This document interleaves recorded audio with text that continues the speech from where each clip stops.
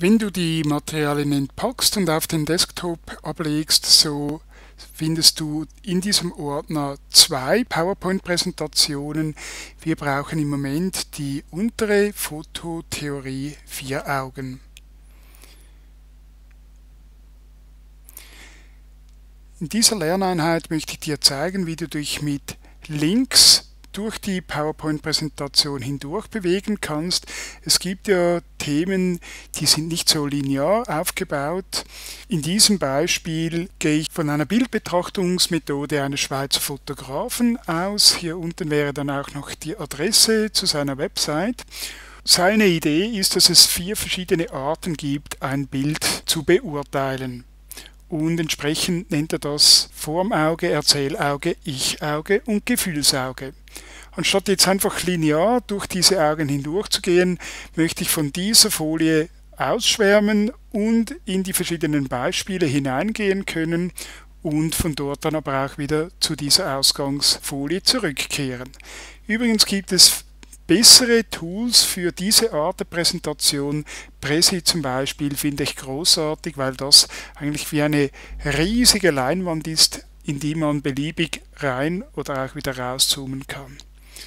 Nun, dieses Formauge, du siehst, es ist eigentlich ein Bild, ursprünglich ein quadratisches Bild, aber ich habe mit transparente Farbe diesen weißen Hintergrund entfernt und so sieht es nun aus wie ein Kreis. Dieses Bild soll nun ein Link sein. Es kann also sowohl ein Text wie hier unten als auch ein Bild zu einem Link gemacht werden. Ich wähle es aus und gehe da auf Einfügen, Link und da habe ich verschiedene Optionen. Naheliegenderweise ist ein Link meist eine Verknüpfung zu einer Webseite oder zu einer Datei. In diesem Fall möchte ich aber einen Link in dem aktuellen Dokument machen. Und zwar möchte ich von hier auf die Folie 3 springen, wo das erste Beispiel für das Formauge zu sehen ist. Folie 3. Okay, da bekomme ich noch einen Tipp. Ich hoffe, der kommt nicht immer. Und wenn ich jetzt mal einen Test mache, so tippe ich darauf und sogleich bin ich auf dieser Folie. Das mache ich nun auch noch für die anderen drei Augen. Das Erzählauge, das soll also zu Folie 7 springen. Ich wähle es aus und wiederum über Einfügen Link oder Steuerung K. Machen wir gleich so, wähle ich die Folie 7 aus. Dann das Ich-Auge wiederum mit Steuerung K. Dieser Link führt zu Folie 9 und das Gefühlsauge erneut Steuerung K führt zu Folie 5 probieren wir wiederum aus. Diesmal mit dem Erzählauge. Ja, es klappt. Nun haben wir aber das Problem, dass wenn ich dann auf dieser Folie angekommen bin, sollte ich ja auch wieder zurückkommen. Du siehst, auf jeder Folie hat es unten wieder das entsprechende Bild. Das wähle ich aus und füge erneut einen Link ein. Im Prinzip könnte ich jetzt auch einen Link zur ersten Folie machen. Nur in diesem Fall ist es weniger günstig, weil meine erste Folie ja die Titelfolie ist und ich müsste eigentlich zur zweiten gehen. Es bleibt mir in diesem Fall also nichts anderes übrig, als Folie 2 auszuwählen und das muss ich jetzt natürlich für alle weiteren Folien machen.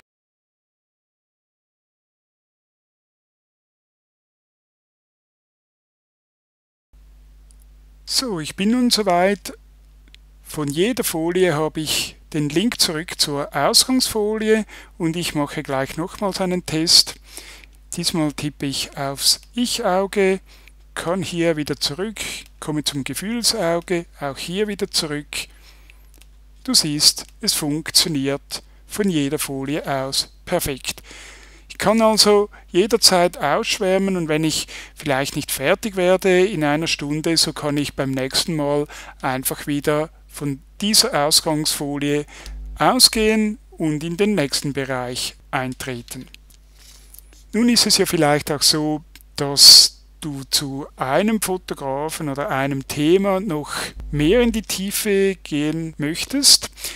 Und in diesem Fall möchte ich jetzt durch einen Klick auf dieses Bild hier zu einer anderen PowerPoint-Präsentation kommen. Ich wähle das Bild also aus, mache wiederum einen Link und wähle diesmal Datei oder Website. Mein Ordner auf dem Desktop ist immer noch ausgewählt und sonst müsste ich ihn hier suchen und da wähle ich jetzt diese Präsentation Plusfeld. Okay, auch hier wieder mache ich den Test. Ich tippe darauf und wenn ich jetzt aufs Bild klicke, so geht automatisch diese Datei auf. Falls es bei dir nicht klappt, beim ersten Mal kann es sein, dass du eine Warnung erhältst. Anschließend ist diese Verknüpfung aber eingestellt und es geht definitiv schneller.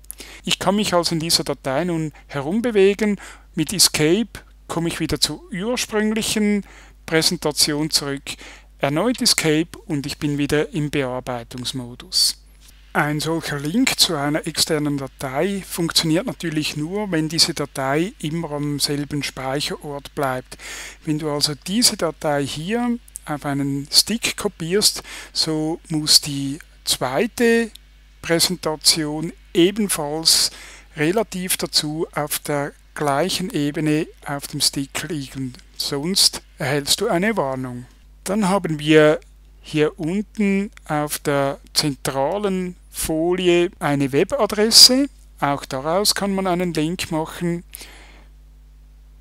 Ich kopiere diesen Text mit Steuerung C und füge hier unten die Adresse ein. Auch hier wieder der Test. Ich klicke darauf und der Browser öffnet die entsprechende Seite. Zusammenfassend also nochmals, Links erlauben dir, dich innerhalb von einer Datei zu bewegen, aber auch eine andere Datei direkt aus der Präsentation aufzurufen und ebenso kannst du eine Webseite aufrufen. Links können sowohl Texte als auch Bilder sein.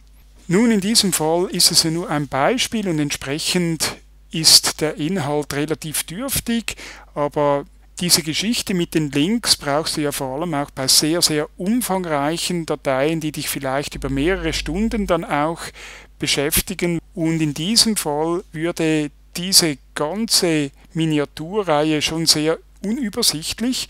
Da lohnt es sich, die Datei mit sogenannten Abschnitten zu gliedern. Ich mache mal hier den ersten mit einem Rechtsklick Abschnitt hinzufügen und diesen Abschnitt kann ich auch noch umbenennen Einleitung. Dann ab hier soll ein weiterer Abschnitt eingefügt werden. Dieser Abschnitt heißt Formauge.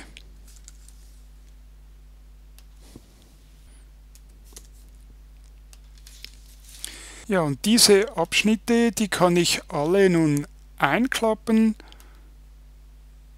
und habe so jederzeit die Übersicht ich kann einzelne Abschnitte oder Folien innerhalb eines Abschnittes noch hinzufügen, ändern, die Reihenfolge anpassen und so weiter und sehe immer gerade, wo ich mich befinde. Falls nun eine Folie darin ist, die im Moment nicht gebraucht wird oder du diesem Publikum nicht zumuten möchtest, weil es vielleicht nicht gerade altersgemäß ist, so kannst du mit einem Rechtsklick die Folie ausblenden. Sie wird dann so verblasst und die Zahl durchgestrichen. Testen wir gleich. Wenn ich hier weiterschalte, so komme ich direkt zur letzten. Die Folie ist also immer noch drin, aber sie wird im Moment in der Präsentation übersprungen.